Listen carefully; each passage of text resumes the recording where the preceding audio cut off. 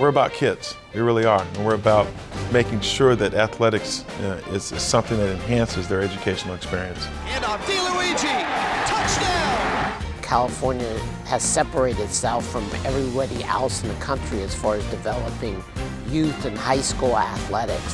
Struck and in, 2-1! Sport is an opportunity to teach those skills about how important it is to try to win, and yet, if you don't win, you can thank your opponent for being the one to point out your shortcomings. And the match is over, ladies and gentlemen. Competing in the same arena with people that you don't know really gives you a sense of what life is all about.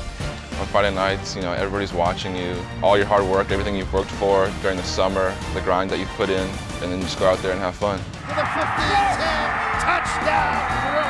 You always give it your very best every single time because that's what it takes to be great. Any kid in high school can dream about competing at the CIF level. Altman goes to Vanderweide, uh, rushes it down the line. Those CIF experiences were some of the best of my life. It's a great outlet when you're playing on the court. Nothing else matters. Merriweather over top I've never seen lines and lines as I saw at the Home Depot Center for that. St. John Bosco will be the champions of the state of California. It was one of the biggest upsets in, in state basketball history.